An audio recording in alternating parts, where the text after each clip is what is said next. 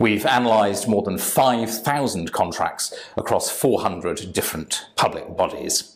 Within them, we find multiple corruption red flags in more than 15 billion pounds worth of contracts.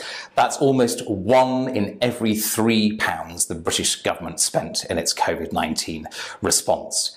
We find a system that was beset with systemic weaknesses, political choices that enabled cronyism to thrive, and all enabled by woefully inadequate public transparency. We put in place a new way of doing it so that rather than individual contracts being agreed, as would be normal with the scrutiny that would come from that, HMT gave to the Department of Health a budget that it could spend. It raised that budget, I think, five different times. It ended up being close to 14 billion pounds in the end, so that there would be no blocks and there would be speed of approval, so that PPE could get uh, to the people who needed it.